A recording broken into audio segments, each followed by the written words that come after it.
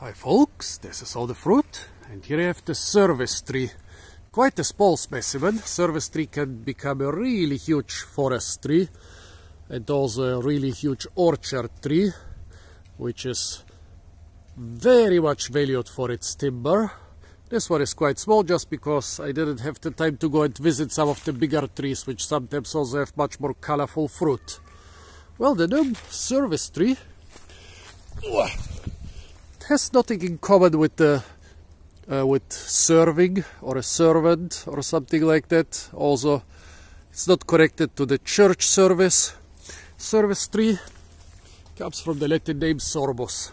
It's in the genus sorbus with other stuff like the checker and the rowan and some other plants which are also called service trees. So some scholars suggest to call this one the true or real service tree.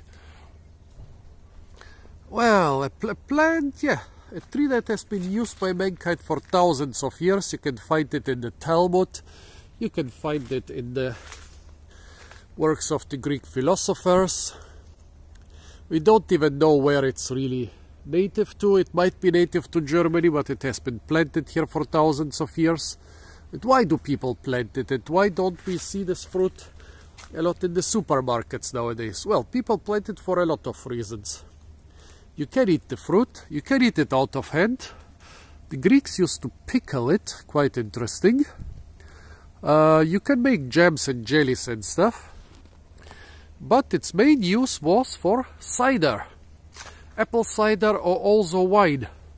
In older times when there were no good ways to sterilize your equipment and to work under clean conditions, service tree well, service tree wine or cider was mixed with the apple cider with the grape wine and with other wines to preserve them. It also gave them a better color and a better taste, but mostly it was to prevent them turning into vinegar within weeks. And that's the main reason it was planted in German orchards. I think the, the wood, yeah, back then the wood was very much valued. You would basically make the those big screws for the wine presses from service tree wood because it was the hardest wood you could get in this size. And, but only in recent decades it has been discovered as a forest timber tree. Very good timber, unlike some other sorbus species. It's funny, the genus sorbus, there are some really good timber species like the service tree and the checker, and there are species with very low quality wood like the rowan, which looks almost exactly like a service tree with smaller fruit. Well, what do you do with the fruit? By the way, the German name for this plant is Speierling, which has nothing to do with the German word for the bird of prey, but has something to do with spitting. Basically the spitter. Well, a fruit that's called spitter, it's a little bit it's a little bit suspicious, but okay, let's try it. Uh.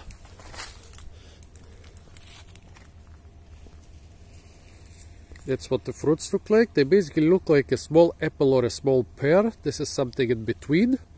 More apple-like, but a little bit pear-like. And they can be very colorful. Here there is a hint of orange, but they can be much, much more colorful. Mm. This one is almost good to eat. It's already soft and has some sweetness, but it's still really astringent. Like you can taste what it will be in a week or so. There is already the nice pear flavor. There is already some sweetness and softness, but the astringency is dominating it. Because there is a trick when eating this plant. Its other German name is Drecksack, which literally translates as sack of dirt or dirt sack. Basically a dirt bag. And yeah, that's what they look like when they are good to eat. Look at this. Would you eat this fruit which looks rotten? This one looks still not rotten, but like it wants to start rotting. Let's find another one.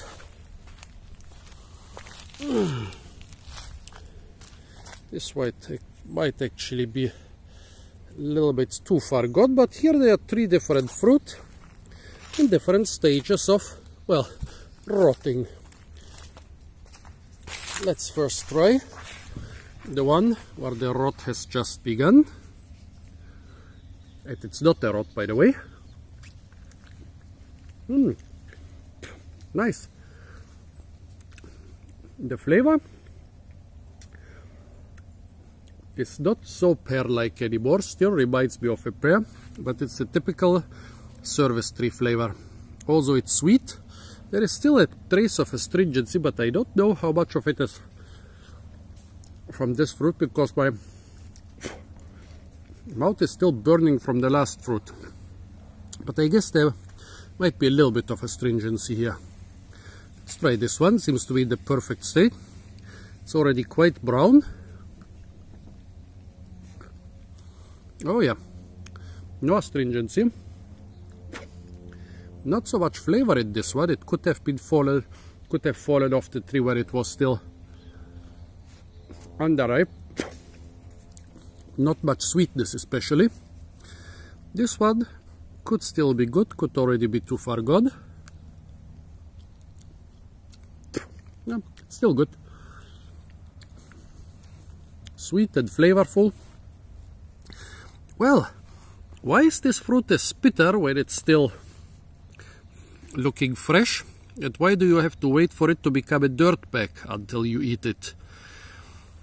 Well, there is a thing called apoptosis, which means the cells, once the fruit is ripe, they basically burst open, the juices gush out, some chemical processes happen while uh, where the astringent acids and tannins and whatever are transformed into sugars, and suddenly the fruit is edible.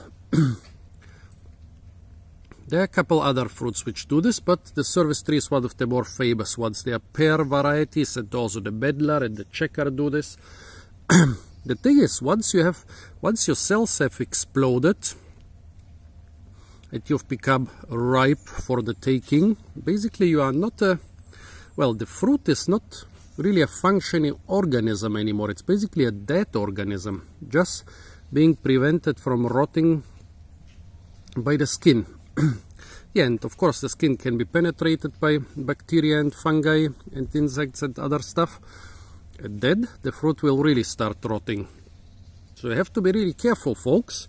You have to choose the fruit which look rotten, but which are not rotten yet, which are dead but not rotten, because they have not been killed by bacteria or mold, but by their own processes. so yeah, Let's see if I can find one more. My mouth is still astringent from the first fruit. It's still burning from the first fruit. And even the second had a bit of astringency because I didn't taste anything in the last two fruit. And so when you look at fruit on the ground, basically this one is not ready, this one is not ready, this one is already too dry, this one is not ready. Well, this one would have been ready, but I stepped on it. Now it looks like a bit of dog poo. This one is already rotten. This one is dry, dry, dry, dry. This one is eaten by birds. Dry. Guess this one will be the only one I would eat. And it was on the ground, so it's not particularly clean. You can do also something else. You can basically pick the fruit, either single fruit or a whole bunch. You can store them somewhere. However, if you store them at home, they will dry up quite fast because they're quite small fruited in autumn. Basically it ripens in September, October. In autumn houses tend to be quite dry. Mm, so basically, yeah, I would say the best way to store it, uh, the best way to use it is to pick it in that state here when it's almost ripe. Then store it in crates in your basement or somewhere in the shade around your house and check every day and take the fruits which are ripe. There are a couple good ones up there, but I'm too small to get them. Well, there is no stick anywhere. Well, here there is a stick. Let's try and let's try and get one off the tree because sometimes they are already good when still on the tree. Look at this one. I think this one is perfect. Oh yeah. Sweet, flavorful, and quite clean because it spent just a couple seconds on the ground. Yeah, good fruit. Once the spitters pick up dirt bags, they are quite tasty. In the state where they are already brown, but not yet. Dark brown is the best.